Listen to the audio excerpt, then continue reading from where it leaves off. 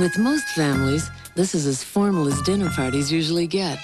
The only audience they'll have with the Queen involves a deck of cards. And the last award ceremony they attended took place in a kitchen. That's why there's Mervyn's, the store for all the comfortable, casual clothes you wear most at very comfortable prices. Mervyn's, for the clothes you love to live in.